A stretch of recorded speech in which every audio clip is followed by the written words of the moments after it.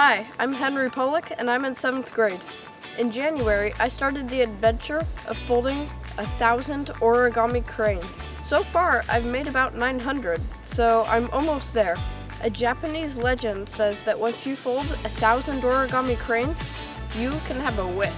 I haven't decided what I should wish for yet, but I'm sure that it's going to be exciting. Every day since the beginning of the year, when I come home from school, I fold three origami cranes. My favorite color of origami paper to fold is definitely that pinkish peach color. I bought a pack of a thousand origami pieces of paper, but I haven't used it all up yet. I also like to use some of my special paper like my kaleidoscope and rainbow pattern paper. I also enjoy creating origami cranes because it's a great way to decorate my room.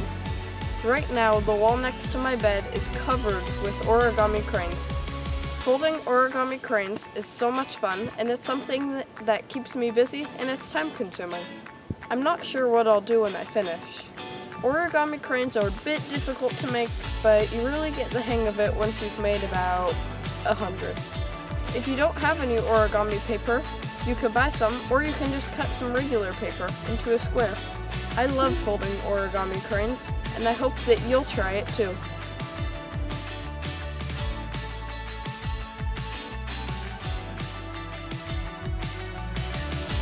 On November 11th of 2022, I folded the 1000th origami crane.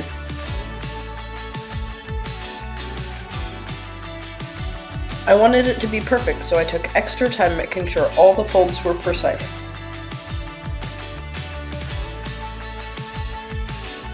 I used a white piece of paper so it would really stand out.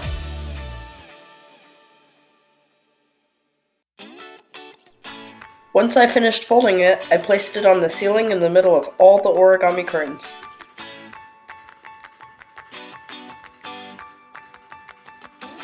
I was a little sad I had completed the 1000 cranes, but after folding so many, I was kinda ready to be done.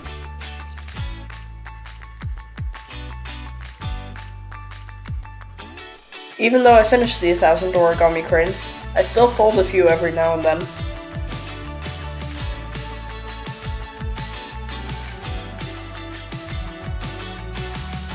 I hope you decide to try something fun like this. It feels very accomplished when you're done.